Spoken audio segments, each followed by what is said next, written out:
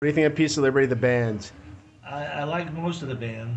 Uh, the lead singer sounds like a cat screaming in an alley against another cat, but uh, but he's okay too, I guess.